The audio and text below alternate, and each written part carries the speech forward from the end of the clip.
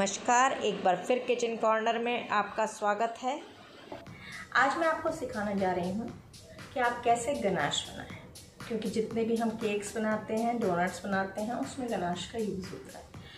लेकिन गनाश तीन तरह का बनता है। एक तो जो हम जिससे हम केक कोटिंग करते हैं, ये हम दो हिस्से चॉकलेट के रखते हैं और एक हिस्सा क्रीम का रखते हैं, तब हम उसको बनाते हैं और उससे ही उसकी कोटिंग की जाती है। एक होता है, जब हम उस कोटिंग के बाद में उसके ऊपर से डालने के लिए करते हैं तो थोड़ा लिक्विड करते हैं। और यही, जो सेकंड टाइप का गनाश होता है, वही डोनट्स में भी यूज़ होता है।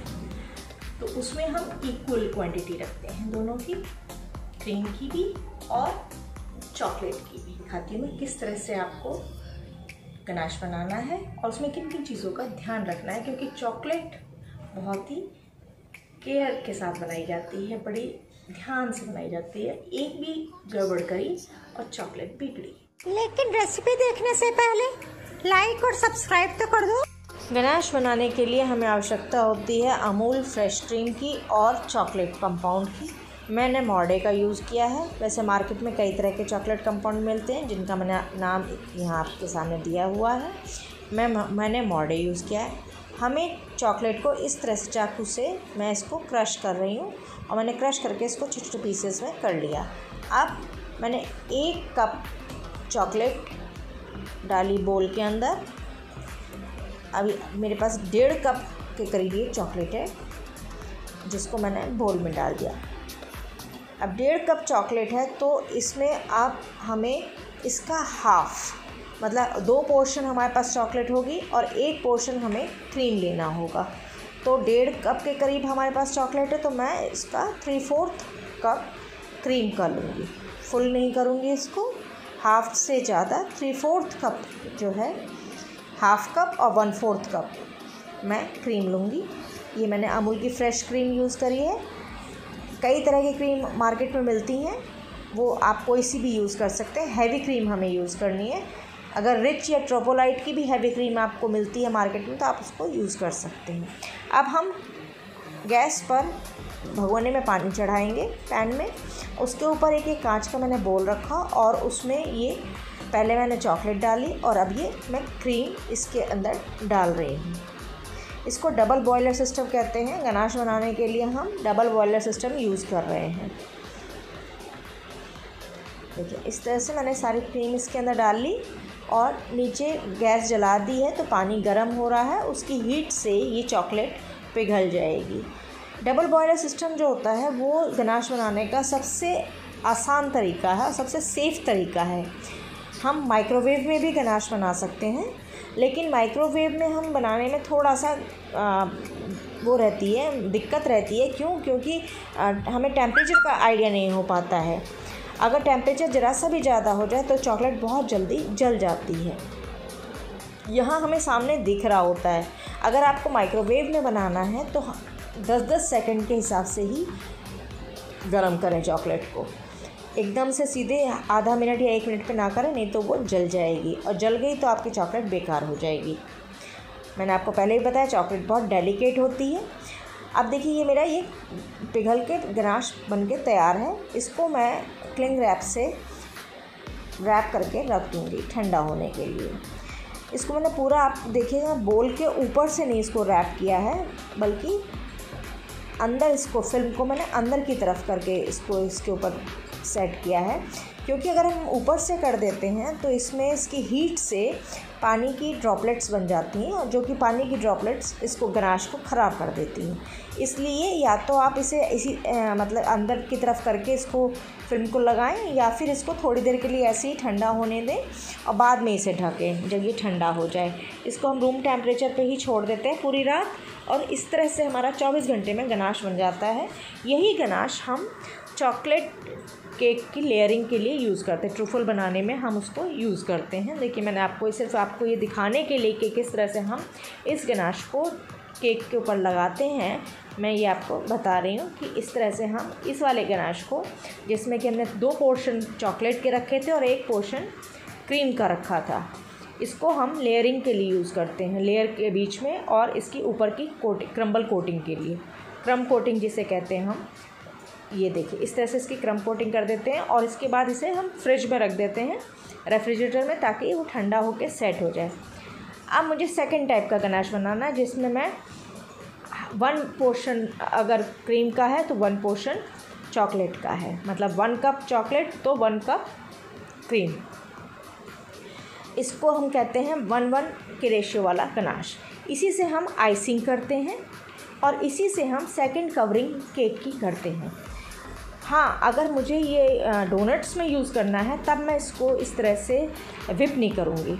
यहाँ विपिंग मैंने करी है क्योंकि मुझे ये केक के ऊपर आइसिंग करने के लिए यूज़ करना था तो इसलिए मैंने इसको विप किया। देखिए, इस तरह से हम केक के ऊपर जो सेकंड कवरिंग हम करते हैं उसकी, उसके लिए इसको यूज़ करते हैं। और इसी गनाश को हम पाइपिंग बैग में भरकर उससे इसकी आइसिंग करते हैं।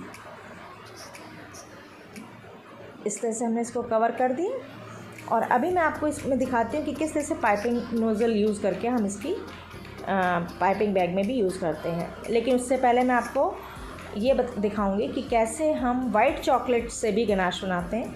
ये मैंने चॉप्ड चॉकलेट ली थोड़ी सी मुझे थोड़ा सा डिज़ाइन बनाना था चॉकलेट से। तो मैं उतना ही आपको करके दिखा रही हूँ। यहाँ मैंने वन पोर्शन चॉकलेट का लिया है। और टू पोर्शंस जो हैं, वो क्रीम के लिए हैं। मतलब कि अगर वन टेबल स्पून मेरे पास वाइट चॉप चॉकलेट है तो मैंने टू टेबल स्पून इसमें क्रीम यूज़ करी है। और यहाँ मैंने क्रीम को बहुत तेज़ गर्म कर लिया था, ताकि जब वो मैं चॉप चॉकलेट के अंदर डालूँ तो वो चॉकलेट अपने आप ही उसकी गर्मी से पिघल जाए। ये देखिए अच्छी तरह से ये पिघल गई है। और ये, अब मैं इसमें कलर मिला रही हूँ। आप कोई भी कलर यूज़ कर सकते हैं मुझे रेड लगा करना था तो इसलिए मैंने इसमें रेड मिलाया है। इस तरह से हमारा ये वाइट चॉकलेट का गनाश तैयार हो गया। जब हम कोई भी आ, केक ऐसा यूज़ कलरफुल केक बनाते हैं तब हम इसी तरह से गनाश कलरफुल तैयार करते हैं और उसके ऊपर डालते हैं। अच्छा अब हमें थर्ड टाइप का गनाश बनाना है जिसकी हम ऊपर से पोरिंग करते हैं केक के ऊपर जिससे ग्लेज़ आता है। तो इसमें मैंने लिया है, इसमें वन पोर्शन चॉकलेट का है और थ्री पोर्शन क्रीम का यूज़ किया है। हॉट क्रीम थी, मैंने उस पर डाली तो जिससे वो सारा का सारा पिघल गया एकदम से। और इसमें मैंने एक चम्मच बटर का भी डाल दिया है। बटर से क्या होता है, एक शाइनिंग आ जाती है। आप चाहें तो डालें, चाहे तो ना डालें। बस एक ग्लेज़ लाने के लिए हम इसमें बटर का यूज़ करते हैं। इसका जो लुक है वो और अच्छा हो जाता है। और इस थर्ड टाइप के गनाश को हम यूज़ करते हैं केक के ऊपर पोरिंग करने में या उसको डेकोरेट करने में। इसका, या जब ग्लेज़ वाला हमें बनाना होता है चॉकलेट केक गनाश वाला, तब हम इसका यूज़ करते हैं थर्ड कवरिंग के लिए। तो इस तरह से मैंने ये गनाश बना लिया है। इसको अब हमें जो मैंने फ्रिज में रख दिया था सेकंड कव सेकंड कोटिंग के बाद में जब मैंने केक फ्रिज में रखा था, इसके ऊपर ही अब मैं ये थर्ड कोटिंग के लिए इसको इसके ऊपर पोर कर दूँगी। हमें इस बात का ध्यान रखना पड़ेगा कि ये जो गनाश है, ये बिल्कुल नॉर्मल टेम्परेचर के ऊपर होना चाहिए नॉर्मल से ठंडा ही होना चाहिए। क्योंकि अगर थोड़ा सा भी गर्म हुआ तो जो हमने इसकी केक की सेकंड लेयरिंग करी थी कोटिंग करी थी, वो पिघल जाएगी। इसके ऊपर पोर करने से पहले इस बात का बहुत ध्यान रखें। इस तरह से हम इसको, इसके ऊपर गनाश को स्प्रेड कर देते हैं। कई बार हम इसको कोन में भर के इसके साइड साइड्स में भी डाल सकते हैं। इस तरह से हमने इसकी कवरिंग कर दी। थर्ड थर्ड कोटिंग जो है वो मैंने इसकी इस तरह से करी। तो इस तरह से मैंने आपको बता दिया कि तीन टाइप से हमारे गनाश बनते हैं। अब मैं इसके ऊपर जो मैंने कलरफुल गनाश बनाया था, उससे थोड़ा सा डिज़ाइन बना दूँगी ताकि वो अच्छा सा लग जाए। आज मैंने आपको इसके साथ साथ चॉकलेट केक पूरा ही डेकोरेट करके दिखा दिया कि किस तरह से चॉकलेट केक को हम डेकोरेट करते हैं गनाश के साथ। में तो ये देखिए, मैंने इस तरह से इसके ऊपर ये डाल दिया थोड़ा सा कलर अब पाइपिंग बैग में मैंने ये वन वन की रेशियो वाला गनाश भर के और अब मैं इसका डेकोरेशन इस केक की कर रही हूँ नोज़ल्स के थ्रू इसमें एक नो स्टार नोज़ल लगा के मैंने इसका डेकोरेशन करनी शुरू कर रखी है। देखिए आप इस तरह से हम इसको, इसके पहले नीचे कवर कर देते हैं, इस तरह से डेकोरेट कर देते हैं। और थोड़ी सी अब इसके ऊपर हम डेकोरेशन करेंगे। जिससे इसकी नीटनेस डिज़ाइन सुंदर सा लग जाए। देखिए, इस तरह से हम इसको स्टार नोज़ल का यूज़ करके मैंने इसको डेकोरेट कर दिया।